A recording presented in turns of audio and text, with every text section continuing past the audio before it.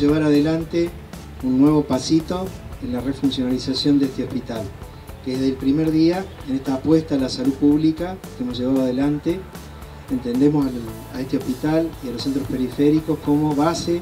de la atención primaria de nuestros ciudadanos. Realmente cumplimos el sueño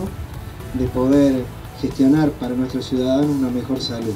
Hoy por hoy, eh, cada uno de nuestros centros periféricos tiene lo mismo que tiene el hospital, entonces esto también ayuda al vecino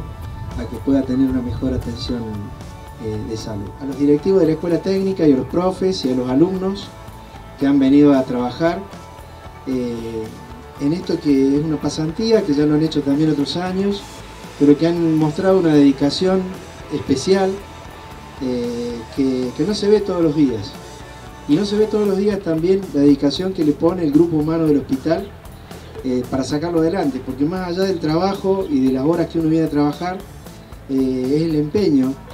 y el cariño que le pone a las cosas que hace. Yo creo que eso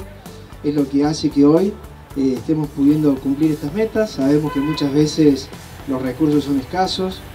este, y que bueno, que con plata cualquiera hace cosas, pero aquí se ha hecho con, por supuesto, fondos, pero con mucho, con mucho amor de parte de todos. Así que Felicitaciones a todos los que han hecho posible esto. Hace tres meses empezamos una tarea de refuncionalización eléctrica y refacciones de 300 metros cuadrados de lo que es nuestro servicio de emergencia. Todas estas acciones fueron llevadas adelante con mucho esfuerzo y sacrificio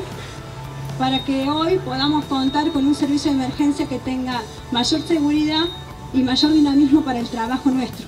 Hicimos el, el cambio completo de todo lo que es el cableado eléctrico, ¿sí? Hemos invertido aproximadamente entre aportes de la cooperadora y municipalidad de 600 mil pesos,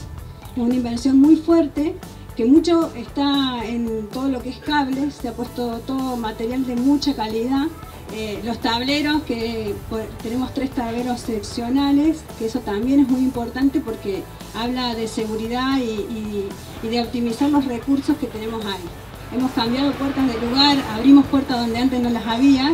y hemos dado uso a espacios físicos del hospital que antes estaban eh, sin utilización. Hoy los aprovechamos, internamos pacientes, eh, hemos hecho eh, campañas, la campaña de donación de sangre, la campaña de Papa Nicolau, en esos espacios que antes estaban llenos de tierra, en desuso y digamos desvalorizados. Hoy tenemos el hospital, pero es un hospital que tiene 50 años, que está muy bien diseñado y al que le vamos a seguir dando valor porque le vamos a dar la calidad humana que es lo que nosotros queremos poner en cada una de las tareas que hacemos.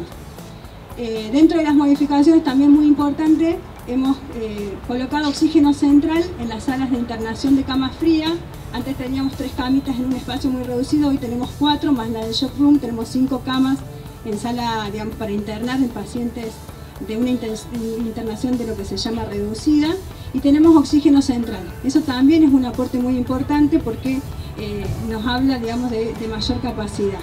Esa sala vamos a tener el gusto de eh, ponerle el nombre de la doctora César, que es una colega que ha sido pediatra durante 30 años en nuestro hospital y ha también participado en cargos directivos.